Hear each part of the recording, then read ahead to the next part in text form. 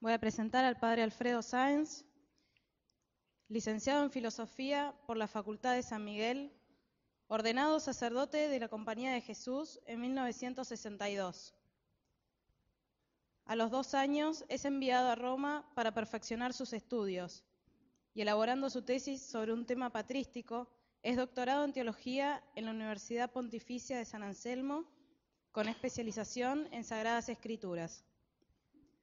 Nuevamente en la Argentina, enseñó en el Colegio Máximo de San Miguel y a pedido del arzobispo de Paraná, Monseñor Tortolo, durante 13 años fue encargado de estudios en el seminario de esa arquidiócesis, teniendo a su cargo entonces, como secretario de redacción, la revista cuatrimestral Micael, que llegó a totalizar en 11 años 33 volúmenes y en la que participaron relevantes personalidades del país y del extranjero. Actualmente enseña teología dogmática y patrística en la Facultad de Teología de San Miguel, dependiente de la Universidad del Salvador de Buenos Aires. Predicador de ejercicios espirituales en diversos puntos del país. Dicta cursos en Buenos Aires y en el interior del país sobre temas de su especialidad. Ha estado en varias ciudades de España, Italia y México pronunciando conferencias. Integra el grupo de conferencistas del Centro de Investigaciones de Ética Social que organiza cursos en 35 ciudades del país. Tiene también a su cargo diversos ciclos culturales, sobre todo los que cada año organiza en Buenos Aires la Corporación de Abogados Católicos. Es asesor de la Corporación de Científicos Católicos. Ocupa el cargo de vicedecano de la Academia de La Plata. Es miembro de la Junta de Historia Eclesiástica. Autor de más de un centenar de artículos en diversas revistas nacionales y extranjeras, principalmente en Micael y Gladius. Ha publicado unos 30 libros, entre los cuales podemos citar Cristo y las figuras bíblicas, El Santo Sacrificio de la Misa, In Persona Christi, la fisonomía espiritual del sacerdote, el cardenal Pai, de la Rusia de Vladimir al hombre nuevo soviético, Antonio Grafni y la revolución cultural, el ícono esplendor de lo sagrado, la caballería, héroes y santos, la cristiandad y su cosmovisión, el nuevo orden mundial en el pensamiento de Fukuyama, las parábolas del Evangelio según los padres de la Iglesia, las siete virtudes olvidadas, Anacleto González Flores, recientemente ha presentado su obra La siembra divina y la fecundidad apostólica. Hoy nos va a hablar del modernismo y la revolución cultural en la Iglesia. La culpa del título de esta exposición la tiene el padre Horacio Bojorge, que para huir de esta eh, coyuntura me, me sugirió a mí el título y era bien escucharme porque él no podía venir, entonces que yo lo supiera. Bueno, así que porque el título este de la, el modernismo y la revolución cultural en la Iglesia, un título medio extraño, revolución cultural, ¿a qué se, a qué se refiere? Él me decía, con muy buen acuerdo me parece, que se puede ver con claridad cómo se cumple en, dentro de la Iglesia, se ha cumplido, dentro del seno de la Iglesia, el plan, el gran plan, la gran estrategia de Antonio Gramsci, cuyo nombre ha salido varias veces ya en estos, días. El fundador del Partido Comunista Italiano, por los que no conozcan bien el pensamiento de Antonio Gramsci, quien nos ha dejado un análisis muy inteligente de lo que es el comunismo y de la manera como deberá habérselas en el Occidente para tomar el poder. Porque a, su juicio, no podría comportarse en el Occidente, la, ofensiva comunista, como lo hizo Lenin, quien primero tomó el poder político, tomó la, el Palacio de Invierno, la Casa de Gobierno de Rusia, y desde allí cambió la sociedad. Luego, desde el poder, cambió el modo de pensar de la sociedad rusa. Según el pensador italiano, en Occidente la táctica debe ser, ha de ser diversa diversa. Eh, antes de tomar el poder político, la Casa de Gobierno, será preciso llevar a cabo una revolución cultural, de ahí tomado el título de esta conferencia, una revolución cultural, cambiar el modo de pensar de la sociedad, cambiar lo que él llama el sentido común. No lo usa esta palabra con la significación que le damos habitualmente, el sentido común de una persona que reacciona de acuerdo a coordenadas sensatas en la vida, sino que llama sentido común el común sentir, podríamos decir, de la gente, lo que normalmente piensa la gente en la sociedad. De modo que cambiar el modo de pensar el sentido común, de manera que la toma del poder político sea la consecuencia de aquella previa transformación cultural. El principal enemigo de este proyecto es, en la opinión de Gramsci, la Iglesia Católica a la cual tanto admira. La admira tanto como la odia. Siendo agnóstico, no le es posible explicar la razón de la supervivencia milenaria de la Iglesia recurriendo a argumentos sobrenaturales en los que no cree, por lo que apunta a dos razones de tal hecho tan extraño de una sociedad que dure dos mil años, así como de la eficacia por ella lograda eh, eh, en, orden a implantar la cristiandad en el occidente, a implantar el sentido común, es decir, el modo común de sentir en el occidente eh, que es trascendentalista, es decir, afirma la existencia de otro orden, de otra patria sobre la del cielo. La primera de estas causas lo constituye el hecho, dice Gramsci, de haber la Iglesia mantenido por estos dos mil años la misma doctrina, de manera firme, de manera permanente, repitiéndola incansablemente a lo largo de los años las mismas razones de su apologética. Claro, dos mil años de repetir y machacar siempre la misma doctrina ha hecho que se haga piel en la, en la sociedad de Occidente el sentido cristiano. Y la segunda causa de la supervivencia de la Iglesia eh, la, atribuye a que la Iglesia ha tenido eh, la, la capacidad de unir en una misma confesión a los intelectuales y al pueblo fiel, al pueblo inculto, incluso al pueblo común, digamos así, evitando que se formasen oficialmente dos religiones, la religión de los intelectuales y la religión del pueblo. Es decir, lo que cree Santo Tomás es lo mismo que cree una viejita analfabeta.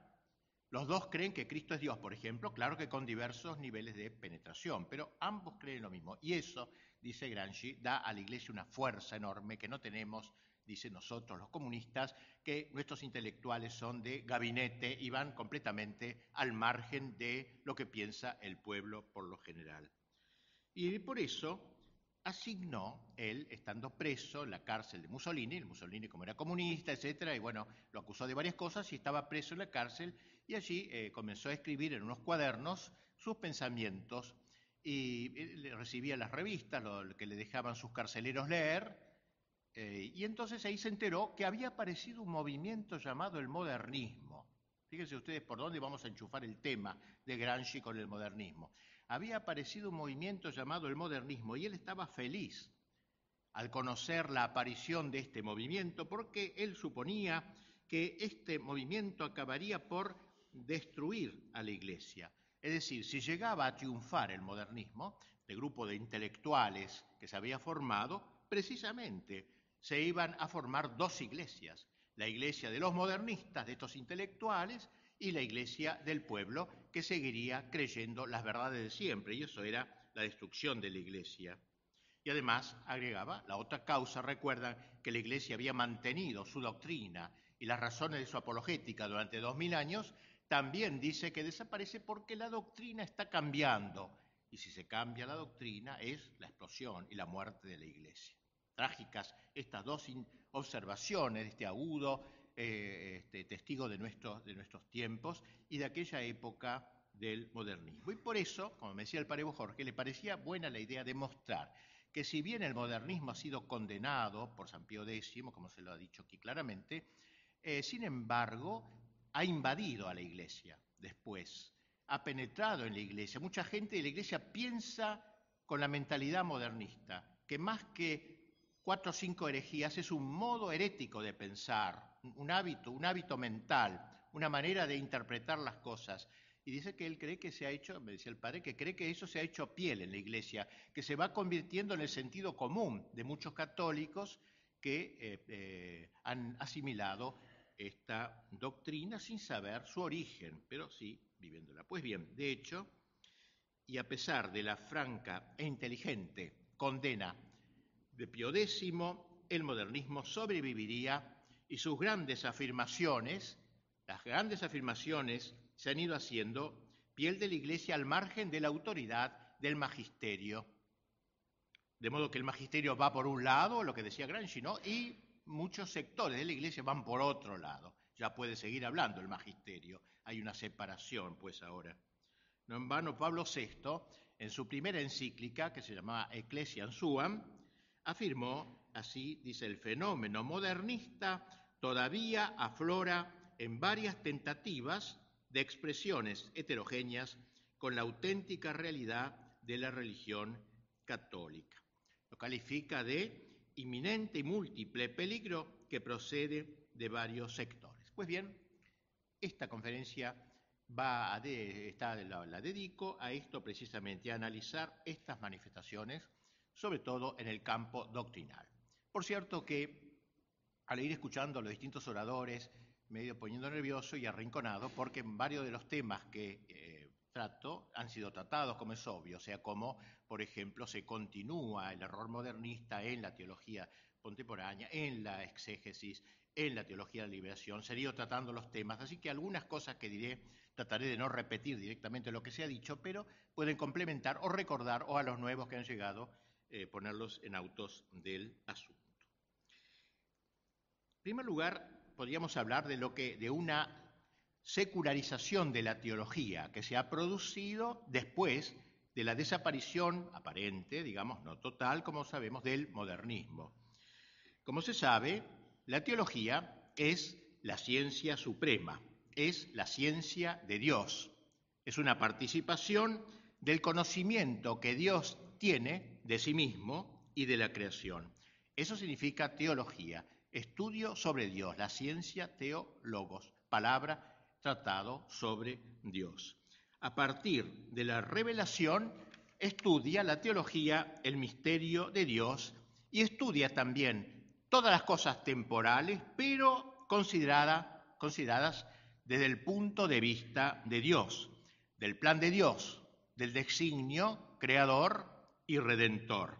Y por eso cabe hablar de una teología de la historia, y la historia no es Dios directamente, pero se puede hablar de una teología de la historia vista desde los ojos de Dios, como la ve, por ejemplo, San Agustín, se puede hablar de una teología de la fiesta, se puede hablar de una teología del trabajo, es decir, de las actividades humanas, pero vistas desde el plan de Dios. La ciencia teológica comenzó en la Iglesia ya desde sus orígenes, especialmente por obra de los santos padres y alcanzó un momento culminante en la Edad Media con esas dos grandes figuras del siglo de oro medieval, Santo Tomás y San Buenaventura, sobre todo Santo Tomás, quien supo realizar una síntesis formidable entre la Sagrada Escritura, la sabiduría griega y el tesoro patrístico, dejándonos un patrimonio no solo sublime, sino apto para la enseñanza de ahí la expresión escolástica, es decir, una doctrina que puede estar en la escuela, en la enseñanza, apta para ser enseñada. Sin embargo, a lo largo de los siglos fueron apareciendo devastadoras herejías, desde el comienzo casi, que los grandes teólogos supieron enfrentar y rebatir. Y en este último siglo, para entrar de lleno en nuestro tema, se ha producido este intento tan grave el de desacralizar la teología, el del modernismo, cortar las amarras de la teología con la revelación, no ver ya las cosas, no, ya estudiar a Dios, digamos, inútilmente en el buen sentido de la palabra, es decir, sin buscar utilidades para uno, ¿eh? ni las cosas temporales desde con los ojos de Dios, ¿eh? sino sustituirla a esa teología, eh, desvincularla de su surgente divina, secularizarla, sustituirla por una construcción meramente humana, secular, al gusto de los hombres de nuestro tiempo. Este proyecto, que hoy tiene gran relevancia, por cierto, posee esta historia que se ha desarrollado en estos días del encuentro. Fines del siglo XIX, como saben, estalla, comienzo del XX sobre todo, estalla esta terrible tormenta que los papas denominaron modernismo. Ellos no inventaron esa palabra, la inventó el papa. ¿eh? ellos no se llamaban modernistas. ¿Por qué? Porque era un intento de apelar como fuente al pensamiento moderno, moderno entre comillas, es decir, un pensamiento racionalista del siglo XIX que daba las espaldas al dato de la fe para encerrarse en la interioridad, en la subjetividad del hombre. Por su etimología, la palabra modernismo no evoca otro concepto que la tendencia a inspirarse en las preocupaciones reales o supuestas de nuestro tiempo, con cierta tendencia realmente inevitable de la novedad. Es más que nada un estado de alma, un estado de alma modernoso, digamos. Nuestros modernistas se van a presentar como renovadores de la Iglesia, de una Iglesia anquilosada, de una Iglesia muerta, decrépita, vegetada. Ellos vienen a rejuvenecer, buscando adaptar la Iglesia a las condiciones modernas del pensamiento, a las condiciones modernas de la acción.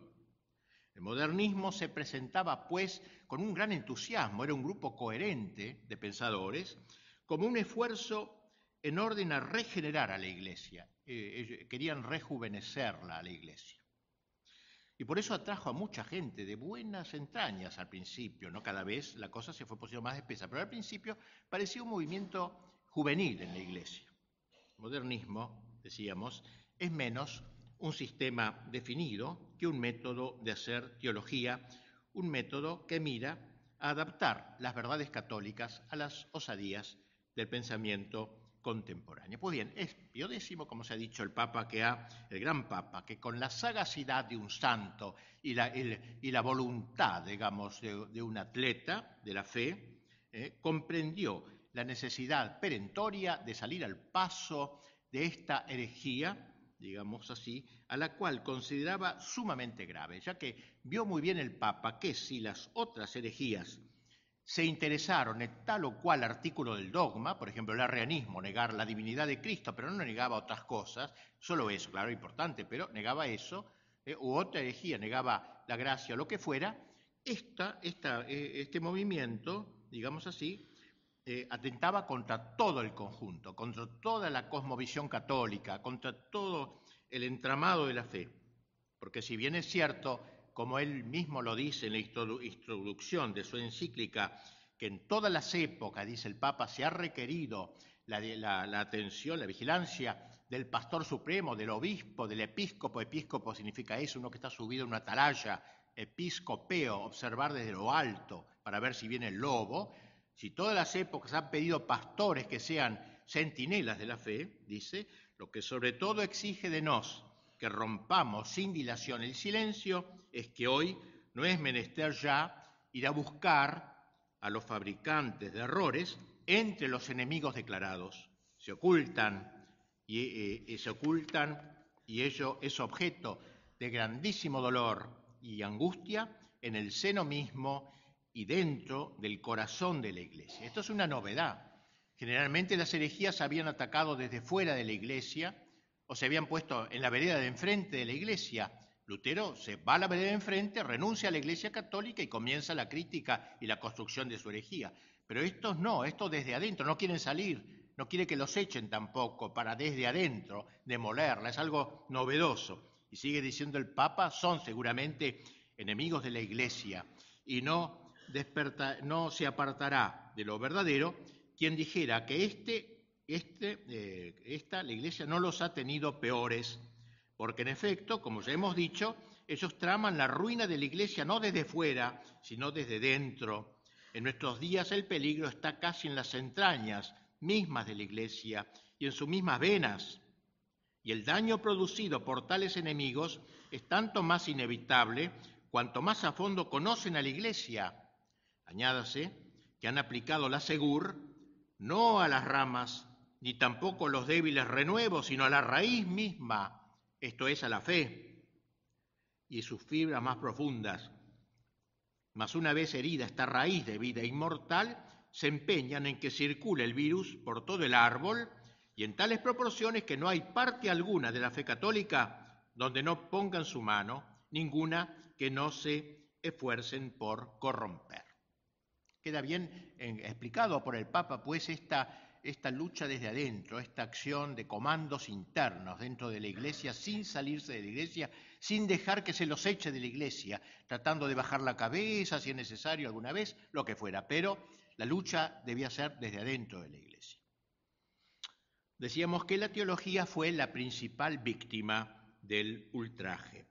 Se ha hablado aquí repetidas veces de ese grave error de la inmanencia vital, entendida sobre todo en el sentido de la cosmovisión modernista que se instala en este mundo. Recuerden, y vuelvo a Gramsci, Gramsci decía que la quinta esencia de la gran revolución moderna es la inmanencia. Dice que el comunismo no tiene como fundamento, no tiene como principal verdad ni la plusvalía, ni la lucha de clase y nada de eso, es la inmanencia. Es el concepto que domina el comunismo y al occidente también en el grado en que acepta esta teoría. O sea, la, gente que vive para esta tierra, inmanere, que permanece acá, que vive aquí como si fuera su patria terminal, que no hay la trascendencia desde, desde esa inmanencia del hombre, desde ese paraíso, el hombre que se mete dentro de sí mismo y en esto concuerda e impalma con el pensamiento de Kant y de Hegel de la filosofía del inmanentismo, esa inmanencia vital es uno de los elementos principales de esta gran herejía. Abolida por completo, dice el Papa, toda revelación externa, o sea, nada que venga de lo alto, nada de una teología que venga de lo alto, resulta claro, dice que no puede buscarse fuera del hombre la explicación apetecida y debe hallarse en lo interior del hombre. O sea, tiene que partir la fe todo de adentro del hombre, no, no algo que recibo de lo alto es algo que brota de mis entrañas. Pero, dice el Papa, como la religión, o sigue diciendo ellos, es una forma de la vida, la explicación ha de hallarse exclusivamente en la vida misma del hombre. Y por eso, agrega, agregan, la primera manifestación de ese movimiento del corazón que llamamos sentimiento. O sea, confunden la fe con un sentimiento que brota de la, de inmanencia, de la tierra, de abajo, ¿eh? y de mi, de inmanencia interior, del interior de mi corazón, de mi sentimiento. Sentimiento, atención con esta palabra, porque va a haber toda una corriente sentimentalista en la iglesia, de un catolicismo sentimentalizado, que será una también una de las consecuencias muy posteriores, ulteriores que tendrá esta em, herejía de raíz. Por esta razón, sigue diciendo el Papa, describiendo a los modernistas, siendo Dios el objeto de la religión, síguese de lo expuesto que la fe principio y fundamento de toda religión reside en un sentimiento íntimo engendrado por la indigencia de lo divino. El hombre siente necesidad de una plenitud, el hombre se siente incapaz, indigencia, y entonces su sentimiento dice, ay, ay Dios, ay, hay un orden, otro orden, etc. Y ahí brota la fe, brota de adentro. ¿eh? En el fondo no me la da Dios en última instancia. Y termina este texto el Papa, esa indigencia de lo divino, que dicen los modernistas, cuando el hombre llega a sentirla, se convierte en religión. Y a este sentimiento llaman fe los modernistas. Esto es la fe. La fe, pues, no es una, virtud que me la da Dios, por la cual yo creo en Dios, que eso son las virtudes teologales, me la da Dios y tienen por objeto a Dios, sino que la fe ahora va a brotar de un sentimiento interior, de la inmanencia del interior mío. En dicho sentimiento, concluye este número del Papa, los modernistas no solo encuentran la fe, sino con la fe y en la misma fe, según ellos lo entienden, la entienden, afirman que se verifica la revelación. O sea, la revelación ahora viene de adentro. Esto queda bien claro, me parece, lo ha expresado con mucha nitidez el Santo Padre. Si se considera el sentimiento religioso, pues, según lo entienden los modernistas, como el germen de toda religión, y a la inteligencia, ¿qué le queda entonces por hacer? ¿Qué le queda a la inteligencia si todo se lo ha dado esa indigencia, esa necesidad, esa menesterosidad que siente el hombre de algo que lo plenifique, que es un Dios aparentemente? ¿eh? ¿Qué le queda por hacer a la inteligencia? Explicar el sentido ¿eh? el sentido de este sentimiento con sentencias doctrinales, es decir, da la cuota intelectual. Claro, hay que darle una explicación doctrinal, no dejarlo en el puro sentimiento. Estas sentencias, dice el Papa, una vez sancionadas por el Magisterio Supremo de la Iglesia, formarán los dogmas. O sea, los dogmas aparecen como una necesidad que hay de formular ese sentimiento interior, dar fórmula, que a juicio de los modernistas no son sino símbolos no son realidades, lo que hoy explicaba también en la conferencia tan linda del Toca no son, no son realidades, cosas en sí, son símbolos. La palabra símbolo es una palabra muy noble, pero aquí tiene un sentido muy negativo, eh, muy restrictivo. Son símbolos, representaciones mentales, a las cuales no se les pedirá sino una aproximación a la verdad. No son verdad, es una aproximación, un acercamiento, una especie de nostalgia, un germen de verdad aproximaciones. Fíjense qué tembladeral que del hombre, ¿no? que vive de aproximaciones, no de realidades, no de certezas sobre las cuales fundar su vida. Aproximaciones, que habrán de acomodarse a las vicisitudes del hombre. O sea, el hombre hoy vive una, situación, mañana otra, debe acomodarse esas aproximaciones, esos símbolos, a la vida que va viviendo una persona. No son cosas fijas y permanentes. Y de ahí que los dogmas están sujetos a la evolución la evolución. El dogma no es algo fijo, terminado, está siempre evolucionando. Como evolucionan los sentimientos, claro, los sentimientos no son permanentes. Evolucionan los sentimientos a lo largo de la historia. Y así dice el Papa, no solo pueden desenvolverse y cambiar el dogma, sino que deben cambiar el dogma. Porque si evolucionan los sentimientos, ¿cómo voy a mantener fijo unos dogmas que la inteligencia trató de explicar eso, pero ¿cómo se ha cambiado el sentimiento que lo forja? Entonces, el cristianismo se vuelve un cristianismo sentimental que vive, digamos, de los sentimientos y no de las ideas, no de las certezas, con una renuncia, en cierto modo, a todo el orden intelectual. Resumiendo, la fe no es otra cosa que el sentimiento religioso que al comienzo brotó tan solo de las profundidades de la conciencia o subconsciencia humanas, evolucionando luego indefinidamente, según las coyunturas de la historia, en función de los progresos de la humanidad en marcha hacia fines superiores, porque la, la, humanidad camina hacia un progreso indefinido y entonces los sentimientos se van adecuando a este progreso y detrás de ellos la dogmática católica. Así, el principio de la inmanencia concluye en un fatal relativismo, ya no hay más verdades absolutas, permanentes, ni necesitamos de ellas, de certezas, como dijeron un decano de una, Facultad Católica de Buenos Aires, ¿no? No necesitamos de fundarnos en certezas absolutas. Cada cual tiene su verdad, su verdad. No hay la verdad. Usted tiene la suya, yo tengo la mía. Usted dice que dos y dos son cuatro, yo digo que dos y dos son tres. Repetémonos mutuamente. Yo respetaré a usted como persona, pero no ese disparate que ha dicho. ¿eh? Sin embargo, está así, eh, cada uno tiene, fabrica la verdad, una verdad es eh, a la carta, digamos, de acuerdo a lo que cada uno va estableciendo, de acuerdo a su... Y no existe, por tanto, el magisterio. ¿Qué sentido tiene algo que viene de afuera, que viene a contrariar mis sentimientos, las aproximaciones que he logrado? ¿Qué sentido puede tener? De ahí que la misma encíclica sería vista como la opinión del Papa. Es una opinión más porque no tiene ninguna autoridad extra el Papa a la que tiene cualquier persona para imponerme a mí sus propios sentimientos. El que él tenga los suyos, son estos sus sentimientos, yo tengo los míos, un relativismo total. Si todo depende de la propia experiencia, afirma el Papa, ¿con qué derecho los modernistas negarán la verdad de la experiencia que afirma el turco? Y no me refiero a ningún turco que haya acá, que habrá numerosos, supongo, sino el turco, o sea, los turcos tienen sus propias ideas. ¿Por qué los voy a objetar yo? Dejemos que brote de sus propios sentimientos, de Alá y de Mahoma y de todos sus recuerdos. Entonces dice el Papa, ¿con qué derecho los modernistas negarán la verdad de la experiencia que afirma el turco y atribuirán solo a los católicos las experiencias verdaderas? Y así, unos veladamente y los otros sin rebozo, tienen por verdaderas todas las religiones, dice el Papa. Ustedes han oído eso hoy también esto se sigue diciendo. Por eso digo, como decía el padre, Jorge ha hecho piel en la iglesia estas ideas, ya están casi corriendo. Dejémoslo, todos adoran al mismo Dios. Lo llamen Alá, lo llamen como sea, pero todos adoramos al mismo Dios. con otros nombres, ideas modernistas, pero se han hecho piel, han entrado, mucha gente piensa eso. Gente de parroquia, gente sencilla piensa eso.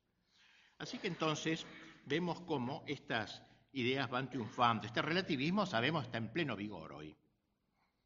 En el año 2005, recordemos, el Papa eh, Ratzinger, poco antes de ser Papa, de ser elegido, sostuvo en la homilía de la misa previa al escrutinio, dijo, el relativismo parece ser la única actitud que está de moda.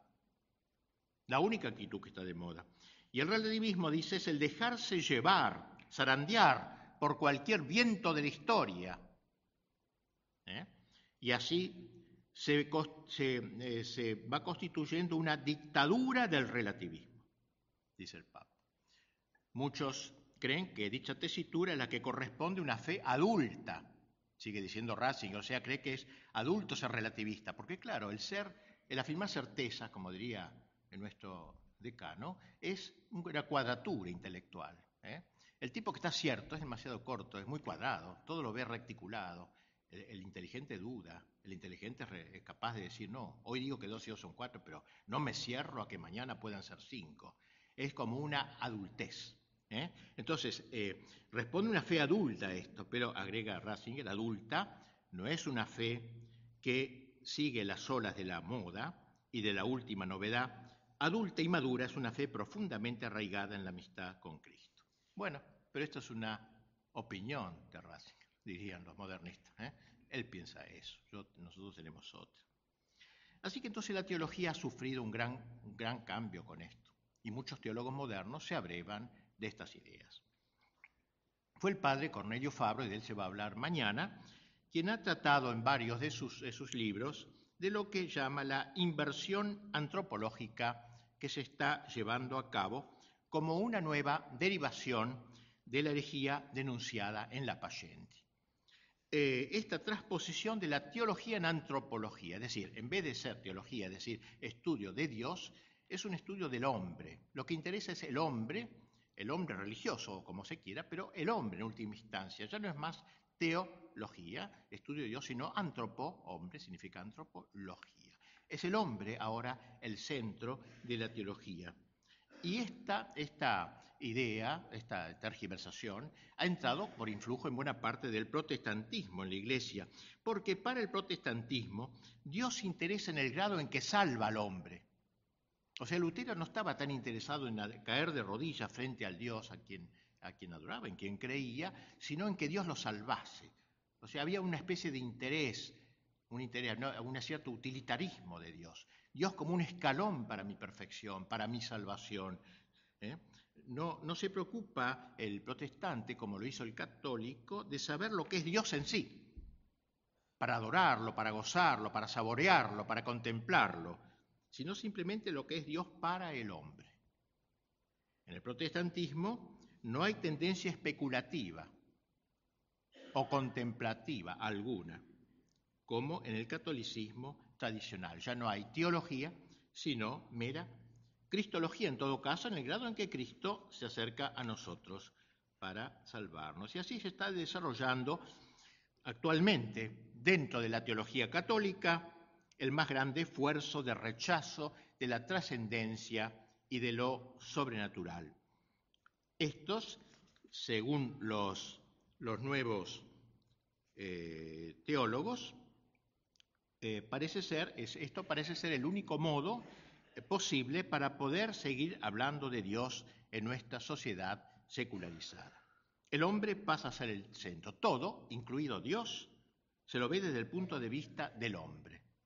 Es cierto que siempre la Iglesia ha expuesto una concepción, digamos, del hombre, de la antropología. Siempre la Iglesia lo ha expuesto, pero no se trata de eso, sino que ahora lo pone al hombre como centro de toda la investigación teológica. Miren que Santo Tomás decía en la Suma Teológica, en la doctrina sagrada, o sea, en la teología, todo se trata desde el punto de vista de Dios, bien porque es el mismo Dios de quien se habla, o porque está ordenado a Dios como principio y fin, de lo que se sigue que el sujeto de esta ciencia es Dios, no es el hombre, sino en todo caso es Dios. En segundo lugar, cómo Dios llega al hombre.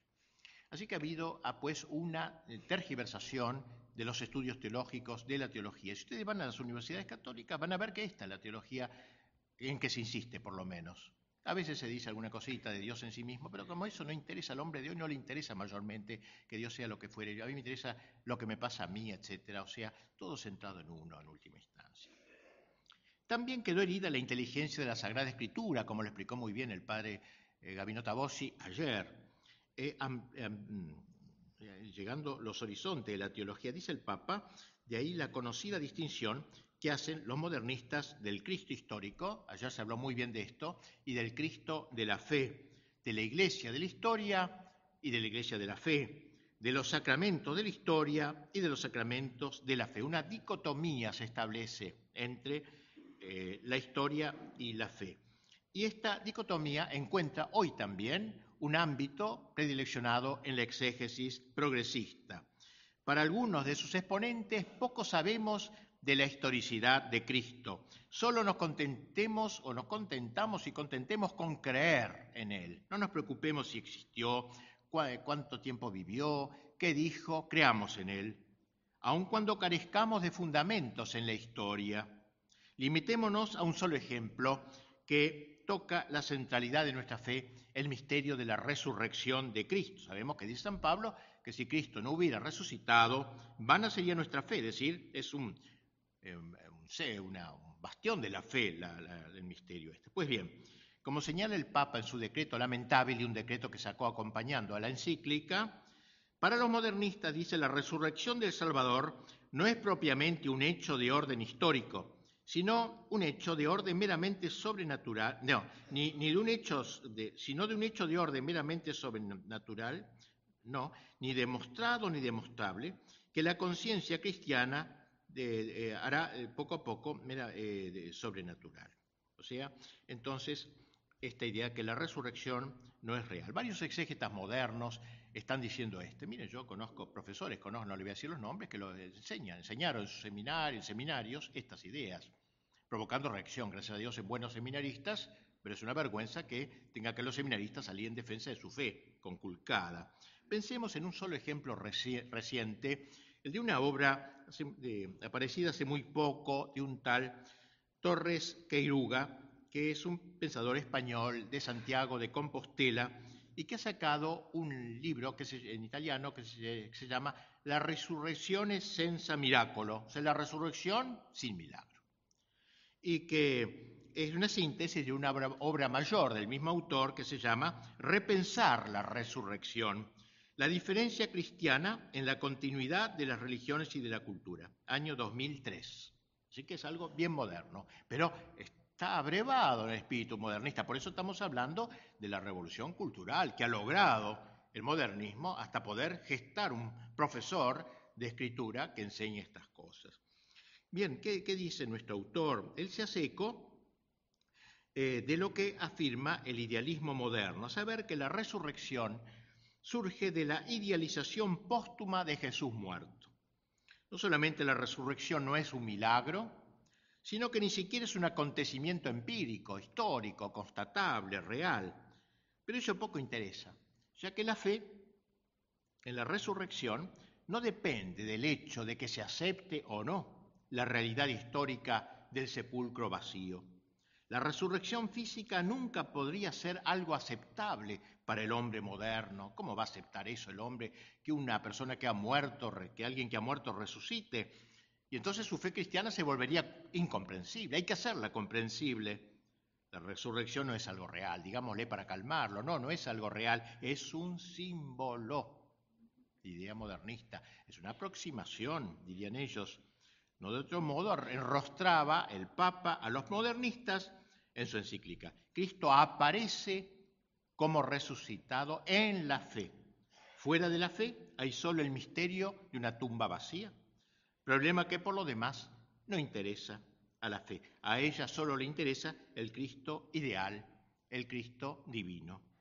Así pues, dice este autor, los discípulos no vieron con sus ojos al resucitado, ni lo tocaron con sus manos, porque esto era imposible, estando él fuera del alcance de sus sentidos, a priori eso. Lo que ellos vieron no tiene ninguna relación material con un cuerpo espacio-temporal.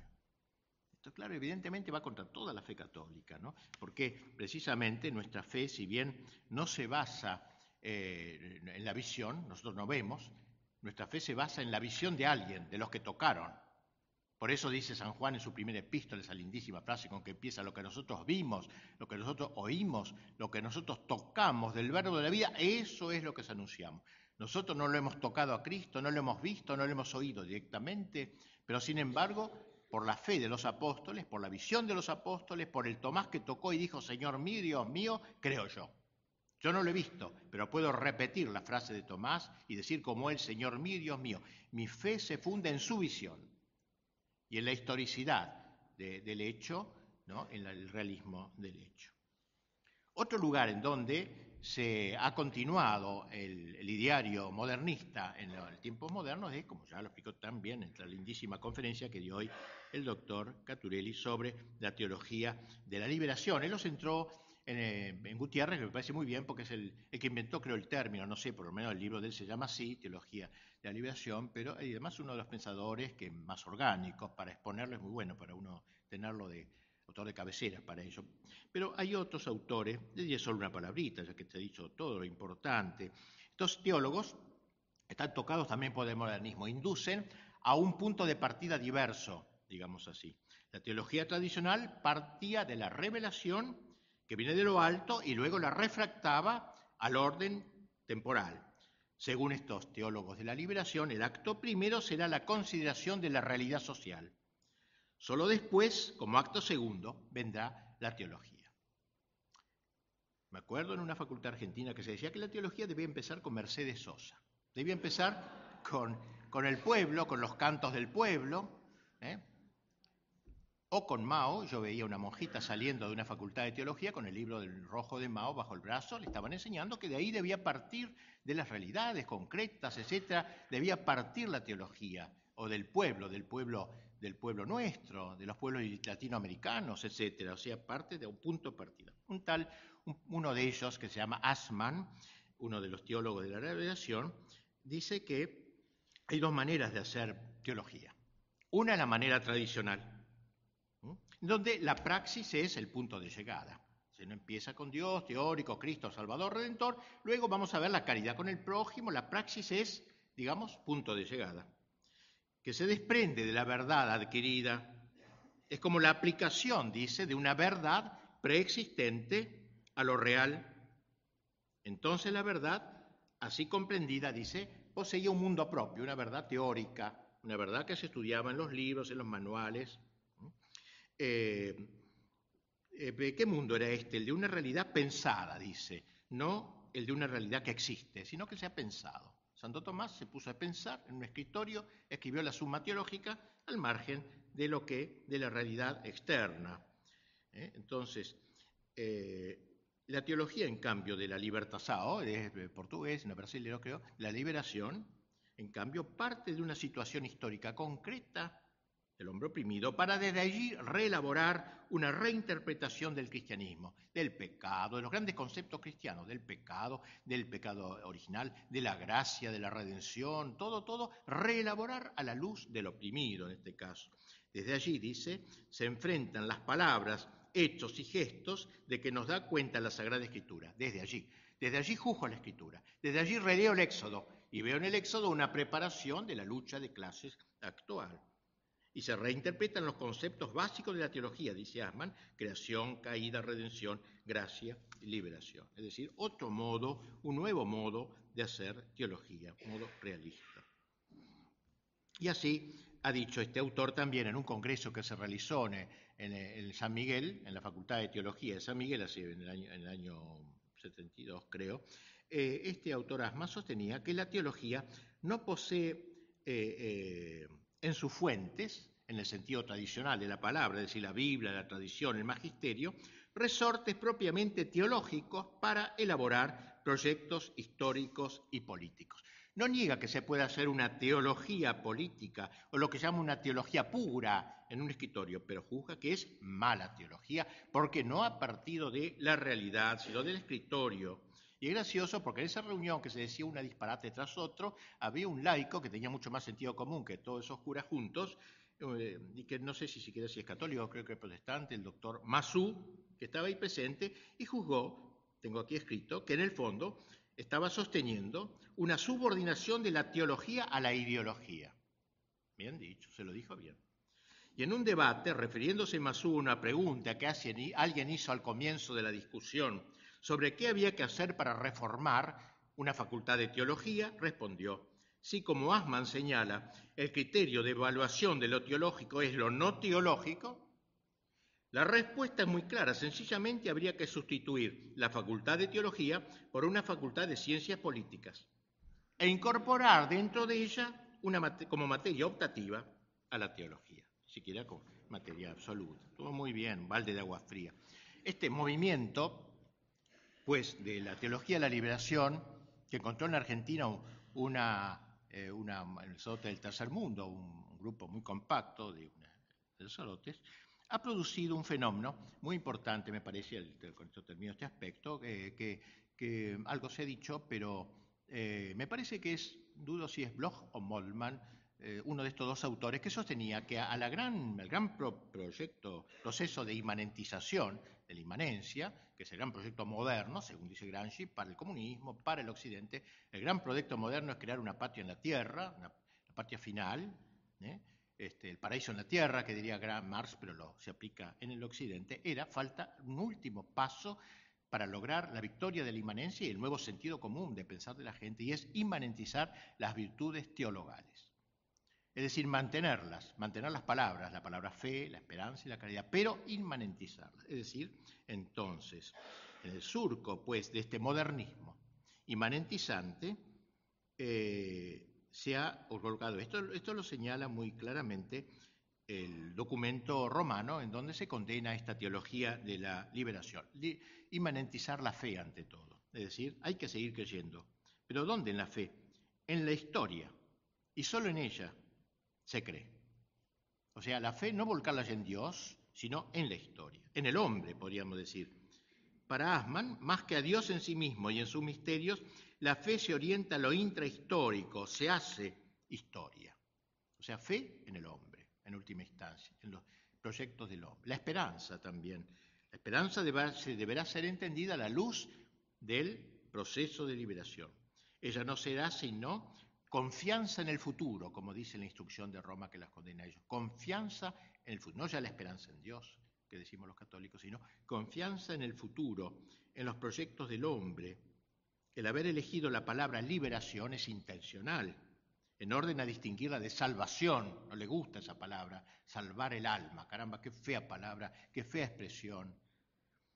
Aparece claro hoy, escribe Gutiérrez, que la finalidad de la Iglesia no es salvar, en el sentido de asegurar el cielo. La obra de salvación es una realidad actuante en la historia. Así se busca entonces mostrar que la salvación no es algo ultramundano, en relación con lo cual la vida presente se reduciría tan solo a una prueba, a un tránsito. La mirada, es cierto, no se descarta eh, más allá, pero no para ver allí la verdadera vida, sino la transformación plena de la vida presente. La escatología ya está de algún modo presente. La supresión de la miseria y de la explotación es un signo de la venida del reino, dice, eh, eh, dice Gutiérrez. Eh, y también, y finalmente, la tercera virtud, la caridad. Esta virtud que es bipolar, ya que tiene por sujeto, por objeto a Dios y al hombre, por amor a Dios, queda también horizontalizada por estos teólogos al menos en los énfasis que se le da. Pocos hablan del amor a Dios generoso, gratuito, y mucho, quizá demasiado, del amor al prójimo y aún este malentendido. La, la mejor forma de caridad encuentra su expresión, dicen, en la lucha de clases. Esa es la manera de amar, precisamente como hoy explicaba muy bien el doctor Caturelli, la lucha de clases, liberar al opresor del oprimido y liberar al oprimido de sí mismo también. Por lo demás, como afirma Girardi, otro de ellos, esta lucha es innegable, lo que solo resta saber en, qué bando nos vamos a poner. Si, si, la lucha de clases es, como se afirma, la consumación de la caridad teologal, Nada de extraño que los cultores de esta teología hayan optado por la estrategia de Marx, aun cuando dicen no adhieren a su cosmovisión doctrinal. Hay que asumir a Marx, dice Asman, así como la teología tradicional no tuvo empacho en emplear un instrumento tan claramente marcado por el pensamiento helénico como lo fue la filosofía aristotélica. Al fin y al cabo, Marx dice, es mucho menos pagano que Aristóteles. Así que no, habría ningún problema pues en, en asumirlo. Con lo que se instaura la lucha de clases, aún dentro de la Iglesia, en la lucha de clases también, este, digamos, entre eh, la jerarquía, sobre todo el magisterio romano, son desacreditados como perteneciendo a la clase de los opresores, con los cuales hay que luchar. De modo que las relaciones entre la jerarquía y, las bases llegan a ser relaciones de dominación que obedecen a la ley de la lucha de clases. Bueno, se ha dicho que a raíz del documento de la Santa Sede sobre este tema, la teología de la liberación ya no existe más, completamente falso es eso. No, es, no es nada es, eh, sigue existiendo en vastos sectores de la Iglesia, aunque evitándose el nombre, pero manteniendo, en algunos casos no, pero en muchos casos evitándose el nombre, eh, pero eh, manteniéndose los contenidos. Bien, también la encíclica se refiere a errores que sustentaban los modernistas acerca de la Iglesia, Vamos a hablar de este temita brevemente, que creo que este sí no se trató, me parece. Hoy perduran, bajo otro ropaje perduran. Señala la que para los modernistas la Iglesia tuvo su origen en dos necesidades. La primera es la que experimenta el creyente, principalmente aquel que logró alguna experiencia singular, para comunicar con otros su fe. Si uno quiere comunicar a los demás la fe, me congrego y eso es, se crea la Iglesia. La, segunda, después que la fe se hizo en muchos, está en la colectividad y tiende a reunirse en sociedad y a conservar y propagar el bien común. Por tanto, ¿qué viene a ser la Iglesia para ellos? se pregunta el Papa.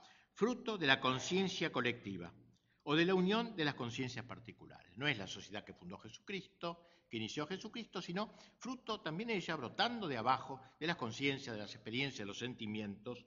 ¿Cuál es entonces el papel del magisterio y bueno, dicen, ¿qué vamos a hacer? Tiene que haber en toda sociedad, la Iglesia debe cohesionar a sus miembros. Entonces, para eso se necesita que haya alguien que tenga autoridad doctrinaria. Los modernistas se gozan en destacar que nuestra religión es una religión viva. Recuerdan lo que decíamos al principio, ellos quieren rejuvenecer a la Iglesia. Dicen bien, el cristianismo es algo vivo, la Iglesia es algo vivo, pero sacan mal las consecuencias. En toda religión que vive, afirman, nada existe que no sea variable y por tanto que no deba variarse.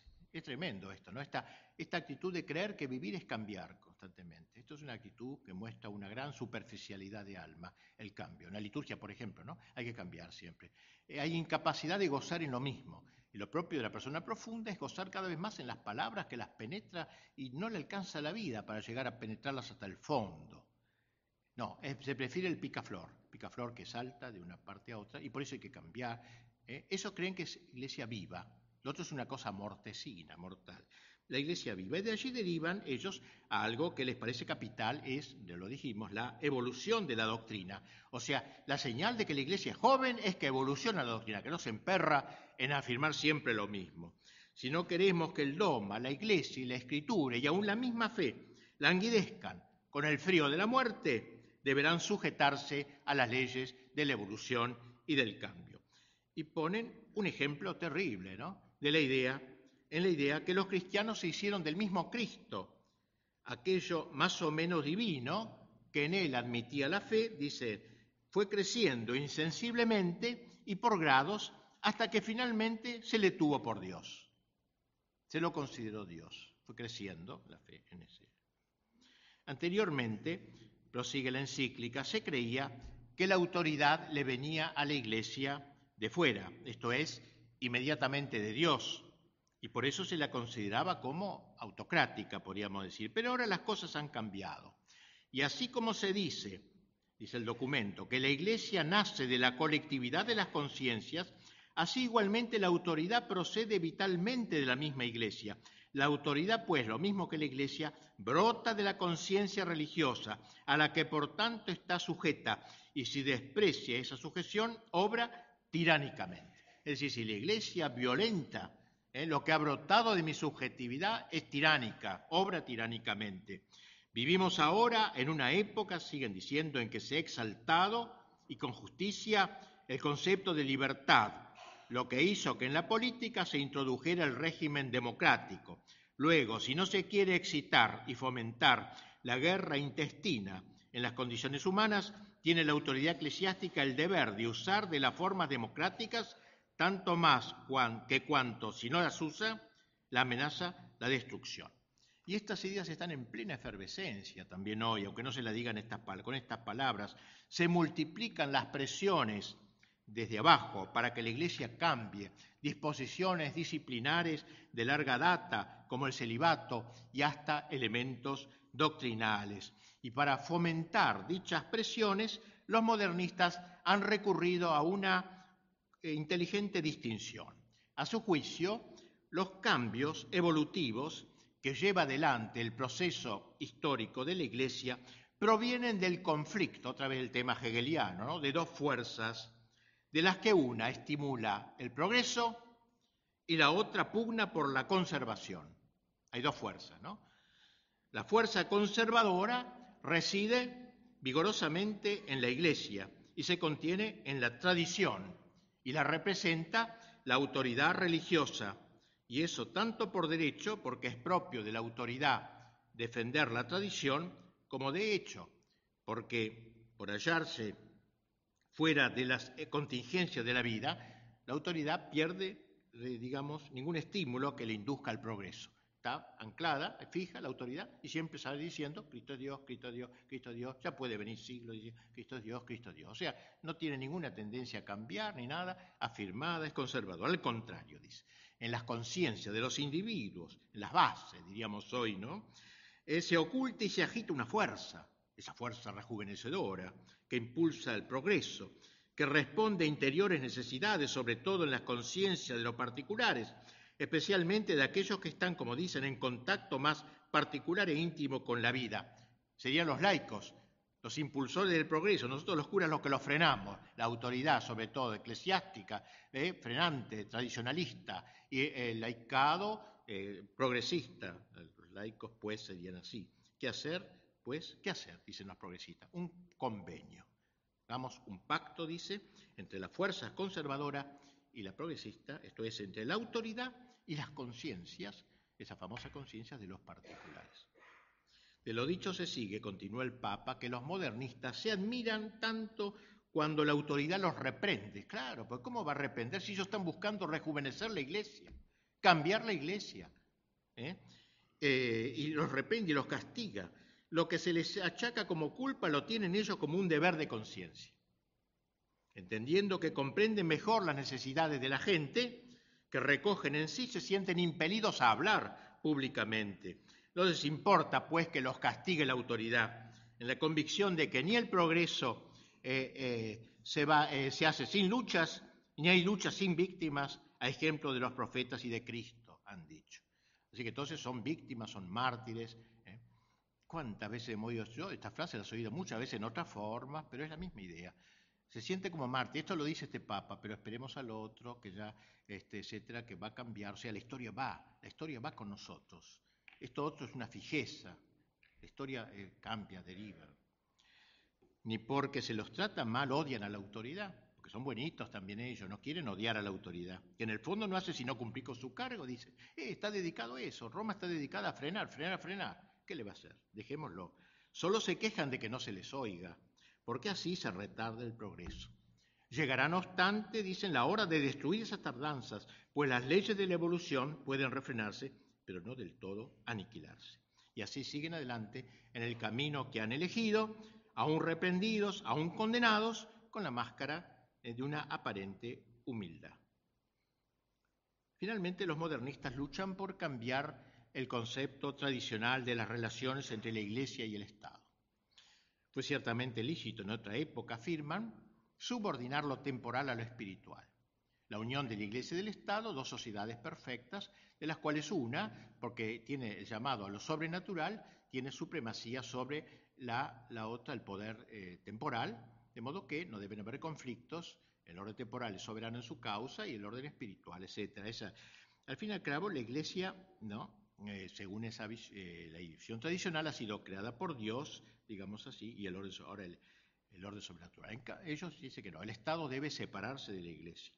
El católico, por ser también ciudadano, tiene el derecho y la obligación de hacer con prescindencia de la Iglesia lo que juzga más conveniente en el orden político. Y cuando la Iglesia pretende intervenir en cuestiones mixtas, no hace sino cometer un abuso de poder. Bien, también la liturgia se ha visto afectada por la cosmovisión de los modernistas. A su juicio, el culto brota de un doble impulso o necesidad, ya que todo su sistema, como vemos, se, engendra a partir de impulsos vitales. Uno de ellos es para dar a la religión algo de sensible. No puede haber una religión puramente intelectual. Entonces hagamos liturgia, hagamos, tomemos pan, tomemos vino, movámonos, etcétera, hagamos liturgia. Eh, y otro fin es el extender la iglesia, lo que no puede hacerse sino en forma perceptible, para reunirnos, tener ocasión para reunirnos, etcétera. Una aplicación de esta doctrina, de esta liturgia nueva, esta liturgia desacralizada que todos conocemos de memoria, eh, y, cargada de ideologismo, la encontramos en el ideario de la teología de la liberación. En la instrucción romana se nos dice que la Eucaristía ya no es comprendida en su verdad de presencia sacramental, de sacrificio reconciliador y como don del cuerpo y de la sangre de Cristo, se convierte en celebración del pueblo que lucha, la lucha de clases es el camino para la unidad. La Eucaristía llega a ser así la Eucaristía de clase. En la pastoral litúrgica moderna conviene observar muchos elementos que también, pero no tenemos tiempo de desarrollar esto, claro que sería muy largo, que tienen ciertos resabios a modernismo.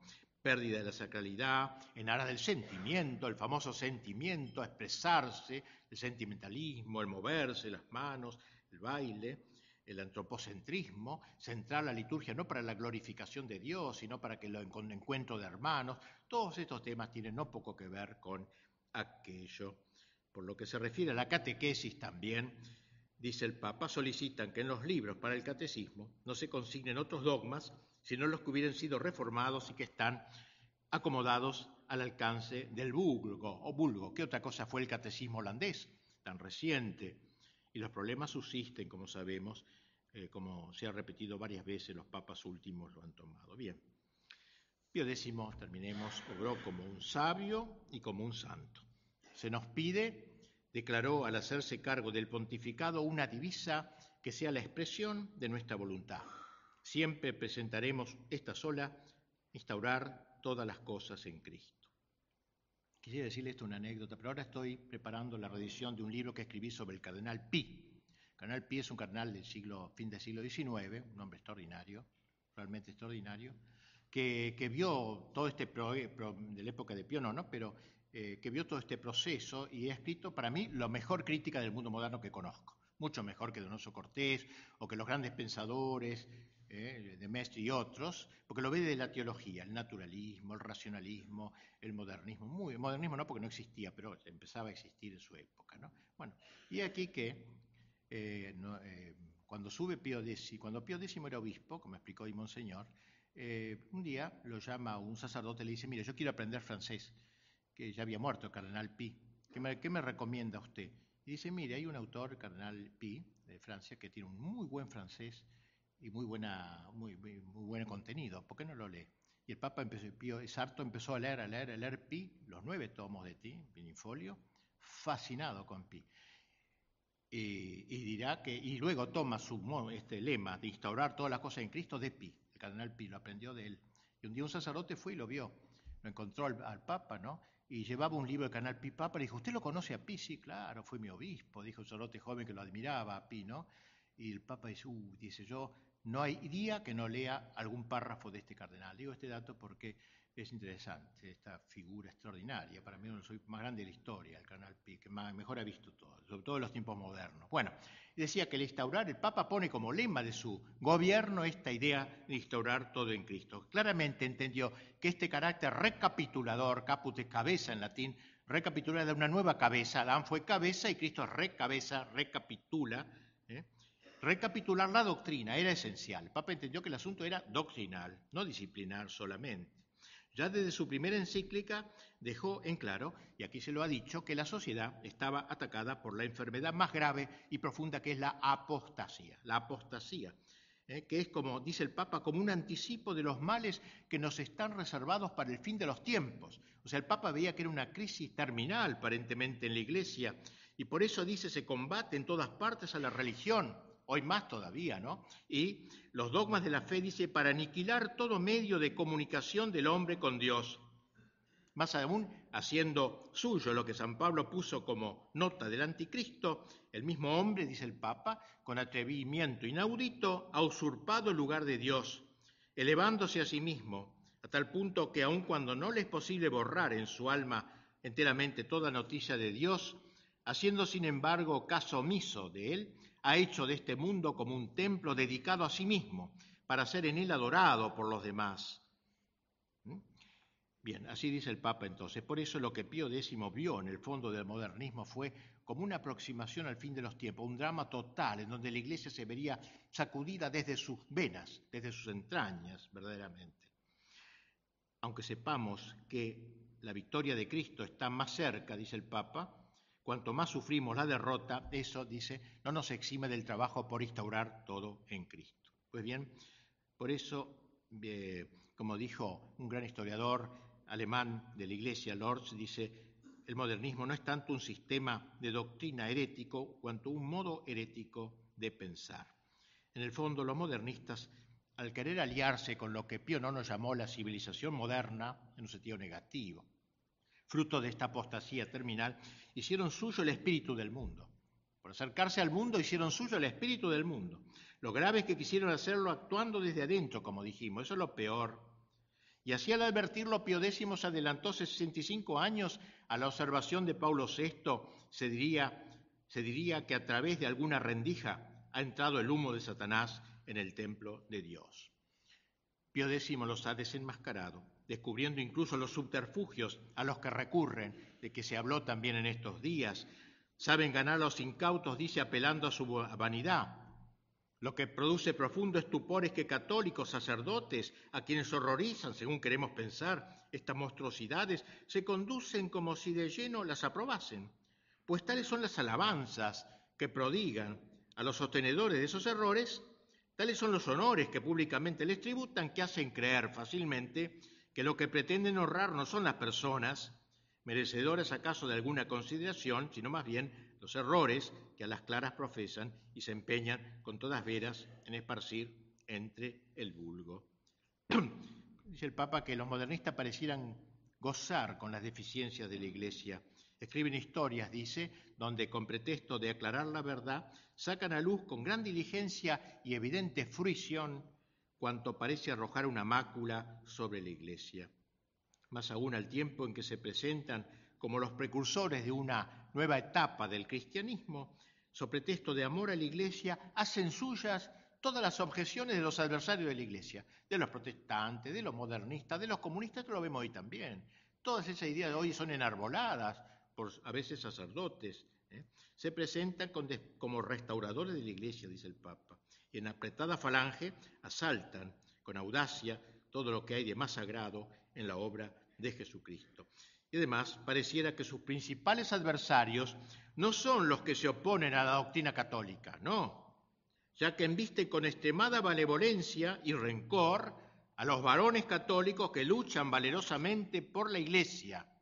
Esos son los principales enemigos, los católicos integristas, los católicos tradicionalistas, Ahí vuelcan toda su ofensiva, ese es el enemigo. No hay ningún género de injuria, dice el Papa, con que no lo hieran. Y a cada paso los acusan de ignorancia y de terquedad. Y cuando temen la erudición y la fuerza de sus adversarios, procuran quitarles la eficacia oponiéndoles la conjuración del silencio. No existen, no, marginal, marginales. Manera de proceder, dice el Papa, contra los católicos tanto más odiosa cuanto que al propio tiempo levantan sin ninguna moderación con perpetuas alabanzas a todos cuantos con ellos consienten.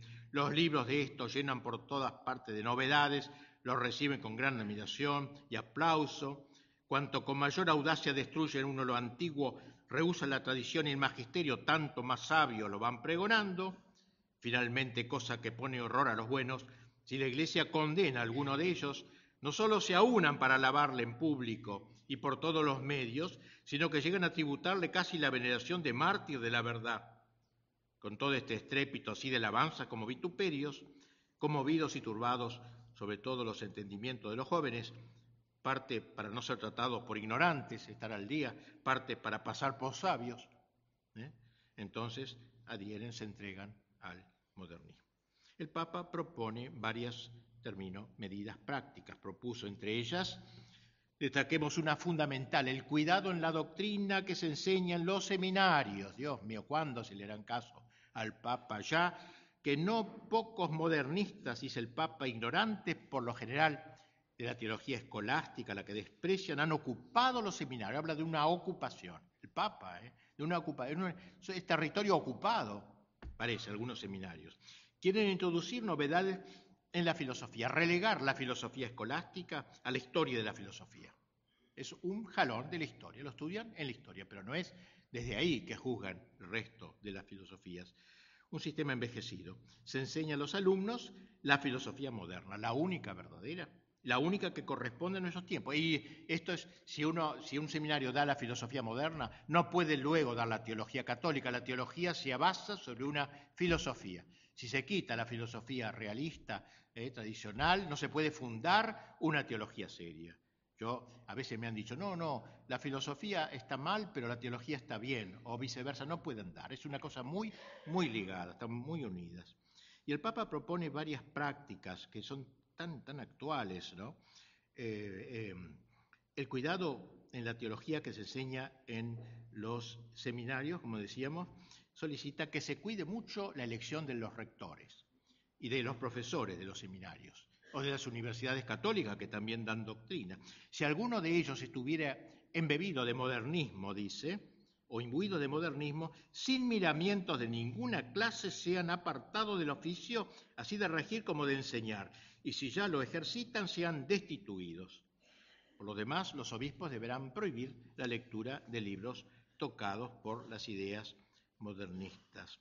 Por lo demás, el Papa se preocupó porque se cumpliese lo que decía, que esto es muy importante. Yo tengo la impresión, y aquí una crítica que hago con cuidado, ustedes ya son católicos prácticos, no creo que se escandalicen de eso, me parece que posteriormente a, este Papa ya muchas veces eh, la autoridad eclesiástica no gobierna tomando medidas concretas que hace cumplir y observar que se cumpla, sino con exhortaciones son como discursos favorables a las buenas cosas, que se cante gregoriano en las misas, tal cosa, tal. La gente ya aquí se le ha tomado el pulso, que no pasa nada si no le hago caso y sigue adelante. Como decíamos, el magisterio va por un lado, es la tradición, eso no, y, y la historia va por otra, somos nosotros, la historia la hacemos nosotros. Este Papa se dio cuenta, creo de eso, porque dijo, para que estos mandatos no caigan en olvido, queremos y mandamos que los obispos de cada diócesis pasado un año después de la publicación de las presentes letras, y en adelante, cada tres años den cuenta la sede apostólica con relación diligente y jurada de las cosas que en esta nuestra epístola se ordenan. Asimismo, de las doctrinas que dominan en el clero y principalmente en los seminarios y en los demás institutos católicos, sin exceptuar a los que están exentos de los obispos, de la autoridad de los obispos, ¿eh? y también las superiores de las zonas religiosas para que a en lo que a sus súbditos se refiere. Y más aún, en el año 1910 el Papa agregó un juramento antimodernista. Todo aquel que fuera profesor de un seminario que, o que fuera nombrado párroco eh, o que tuviera alguna dignidad eclesiástica tenía que jurar sobre los santos evangelios ser fiel eh, a este juramento antimodernista. Miren, más no se podía hacer. Más aún, y esto no, tengo tiempo de contar, sería bastante divertido, entre 1909 y 1914 se fundó un, un sodalicium pianum que apoyaba el Papa, medio escondidas, medio un círculo de, digamos, de inteligencia del Papa, repartido en todo el mundo, en donde había personas de confianza que decían, en la Argentina el padre tal es de confianza, el padre tal no. Este padre sirve para obispo, este otro no, apártenlo. Eh, una persona en el lugar, en los lugares, con informaciones permanentes a la Santa Sede, que tenía un fichero formidable de todo esto. imagínense el odio que le tenían a estos señores, a estos sodalicium pianum, pianum por Pío, Pío, eh, Pío X, sodalicium, o sea, reunión de, de los que seguían al Papa, este, advirtiendo el Papa entonces que estaba aún rodeado de modernistas, que incluso entre sus colaboradores había modernistas. El Papa creó, le hizo crear un monseñor, monseñorino, amigo de él, llamado Benigni, este un Piano, este que daba informaciones de todo el mundo de cómo se iba cumpliendo o no eh, la encíclica. Bueno, sea lo que fuere, en 1911 una mirada global, parece que el Papa logró restablecer realmente el orden teológico en la Iglesia. Sin embargo, no todo terminaría allí. Si bien Robier, que es un autor muy interesante en el Diccionario de Teología Católica, en la columna Modernisme, dice, del modernismo no queda ya casi nada, en Egipto en 1929, del modernismo no queda ya casi nada en este momento frente al observador, sino el recuerdo más o menos oscurecido de una crisis doctrinal desde hace tiempo conjurada. Esto no es así. Dice lo contrario, Tremontanto, un autor que escribió ah, no hace mucho, eh, más de 50 años después, dice, si relacionamos la Payendi 70 años más tarde, nos sorprende otro hecho. Lo que la encíclica denuncia a principios de siglo, es decir, el irracionalismo, el antiintelectualismo, la filosofía del sentimiento, la experiencia interior, la llamada a la vida, al corazón, a la acción, al deslizamiento de lo racional hacia el sentimiento, hasta la náusea, todo esto ha subsistido hasta la actualidad y se encuentra también hoy día, solo que empeorado y multiplicado por diez o por cien eh, y desprovisto del genio metafísico de los gigantes de principio de siglo como Bersoni y Blondel. Es decir, ya no hay grandes modernistas como aquellos, pero las ideas han seguido cien veces más. Esto me parece que es mucho más real que lo que nos decía Rivière. Nosotros somos testigos de dicha supervivencia. Como señala Caturelli, puédense comparar las disposiciones prácticas de la Payendi con las de la encíclica Veritatis Splendor de Juan Pablo II, donde el Papa recomienda a los obispos su deber de vigilancia personal para que la palabra de Dios sea fielmente enseñada y exhorta, a las medidas oportunas. Y en cuanto a la doctrina, la Fides Ratio es la confirmación más rotunda de lo que enseñaba la Payendi casi 100 años antes, con lo cual muestra que los problemas siguen sobre el tapete. Bueno, esto es todo.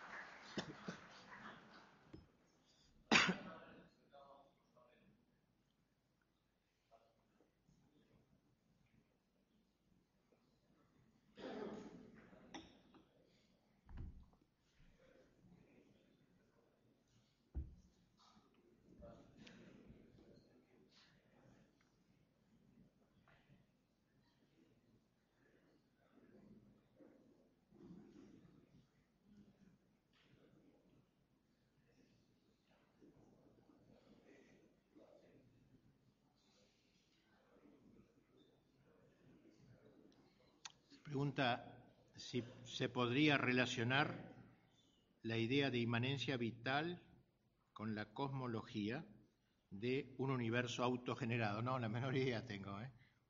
No, no sé bien, soy ignorante de este elemento cosmológico, ¿no? De un universo autogenerado. Puede ser, puede ser que una relación, pero esta la Biblia dice más bien relación con lo psicológico ¿eh? y la segunda más bien con lo cosmológico. Yo no, no sabría dar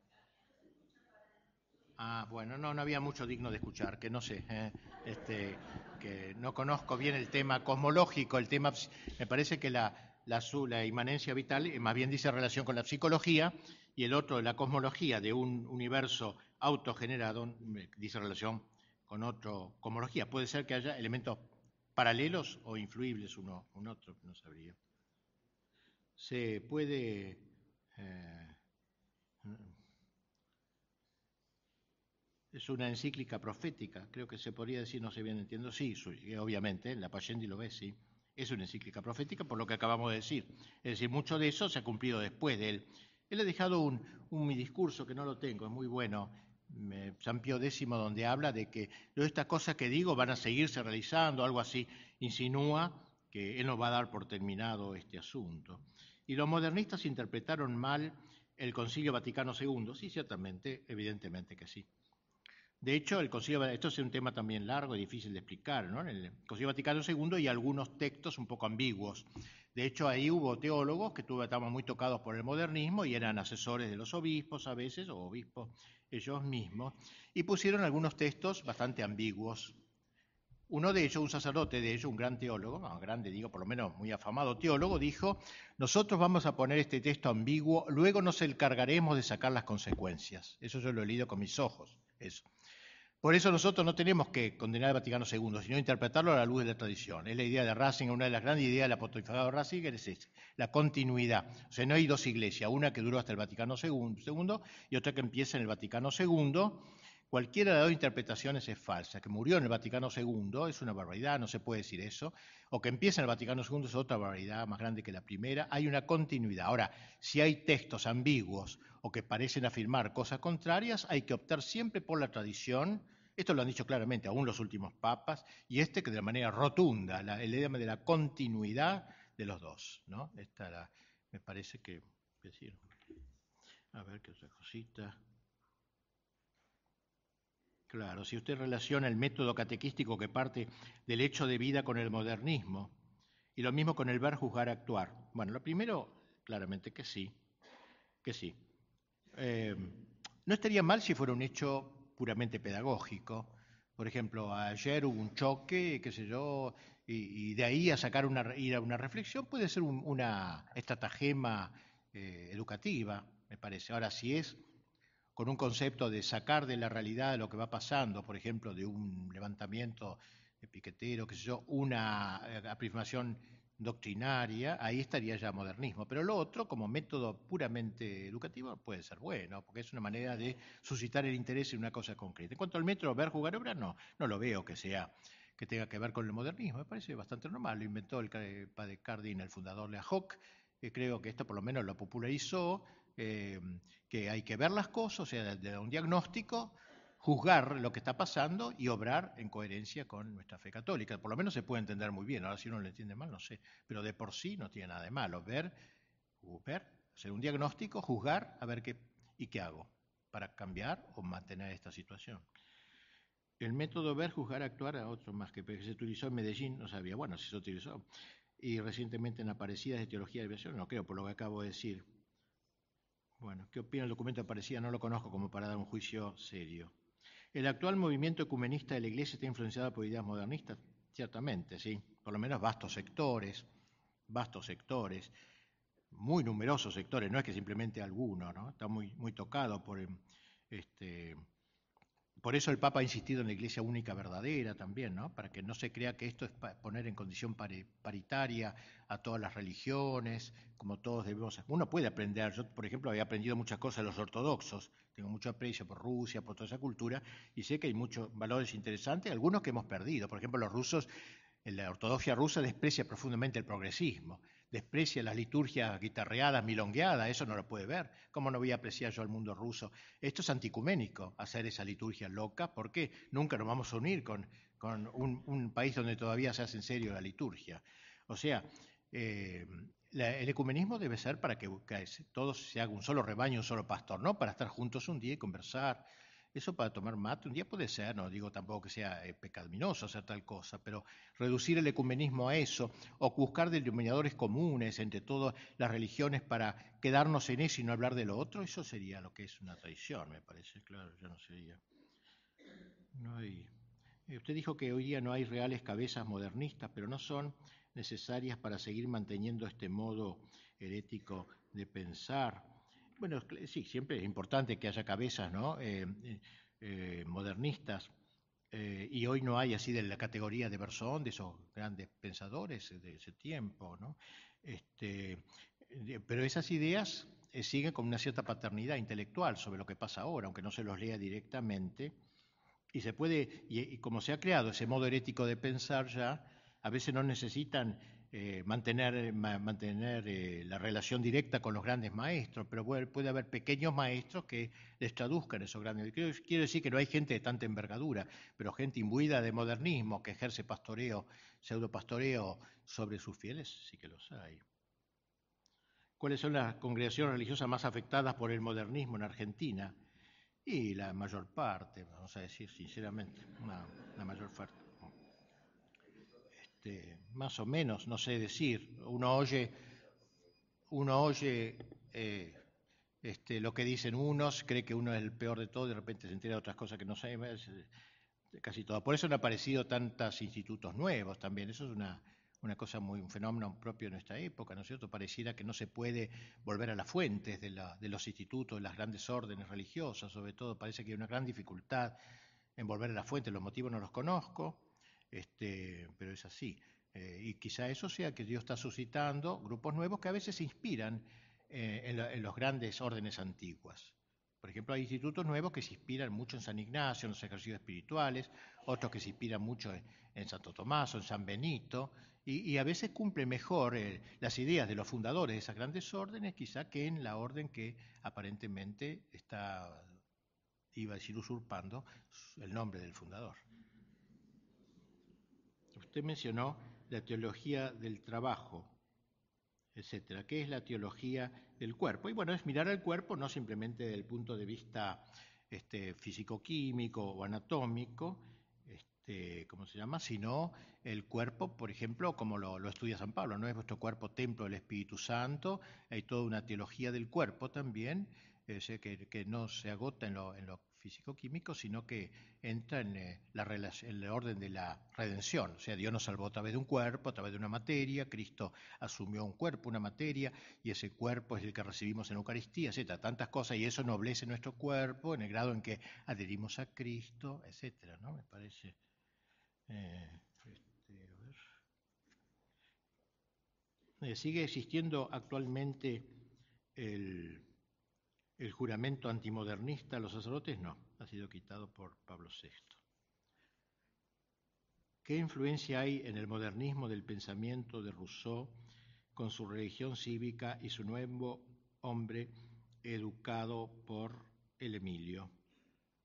Y pienso que sí también, ¿no? Porque aquí la supresión del pecado original que realiza Rousseau, el hombre naturalmente bueno, me parece que tiene que ver en el sentido de que si todo sale de adentro, del sentimiento, de las convicciones internas del hombre, ¿no es cierto? Pareciera que la bondad está allí y no hay nada que venga de afuera, ni la autoridad ni legítima, ni la autoridad divina, ni la teoría humana.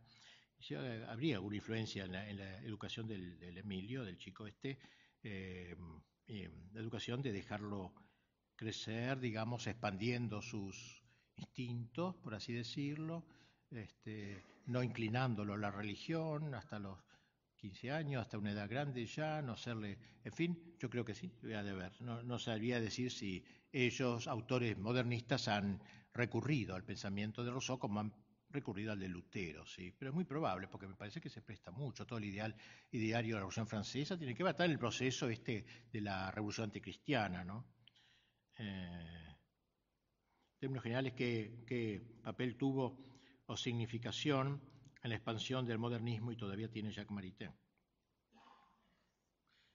Y, grande, ciertamente. Saben ustedes que Maritain tiene dos grandes épocas, una época en que era discípulo de Léon Blois y de la acción francesa, relacionado con eso, este, cuando viene la condenación de la acción francesa, el cual tema muy largo de tratar, él se siente tocado, abandona todo eso y empieza a gestar una, una, concepción muy diversa de la inicial, que era tomista, claramente tomista, y después dejó de serlo y empezó a hablar de una nueva cristiandad, o sea, no la cristiandad como impregnación evangélica del orden temporal, sino una, una cristiandad, digamos así, en donde, en donde se encuentre este, todos, nos encontramos comunistas, judíos, católicos, todos nos encontramos en algunos valores comunes, pero ya no más con la realeza social de Jesucristo y uno renuncia a todo eso.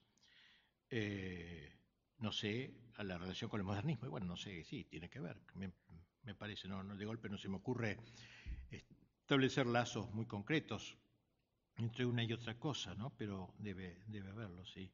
Este, está, esta nueva cristiandad, puede ser, una, cristiandad que de algún modo dependa también de los sentimientos de todos, en que concordemos, ¿eh? sin, sin ninguna intervención de afuera, todos concordamos en la misma cosa, el comunista, el judío, el cristiano, esos valores comunes, como se llama ahora valores comunes, entonces a lo mejor tenga que ver, pero no, no, no, no, no que nos compete como laicos católicos frente a sacerdotes que predican o introducen prácticas o conceptos modernistas en las misas que celebran, es imprudente reprenderlos. ¿De qué forma? ¿De qué forma es imprudente? No, ¿de qué forma reprenderlos? Y bueno.